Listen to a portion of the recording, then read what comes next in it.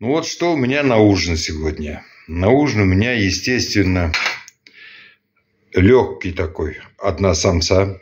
Это наслоенная говядина с мясом. Потом вот это макароны такие, лапша такая. Вот, а с овощами. Вот так вот. И котлеты. Вот они. Вот, котлеты.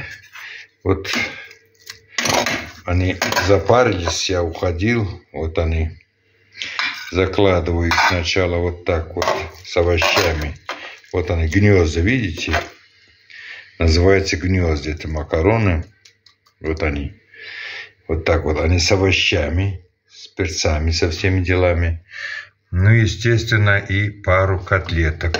Или много не надо. Вот, вот одно котлетка. Вот вторая котлетка. Вот она так. Вот такой вот у меня сегодня ужин, будем говорить так. Вот, самса. И на десерт я сегодня купил вот за 33 лиры вот это сливовое варенье, полукилограммовое.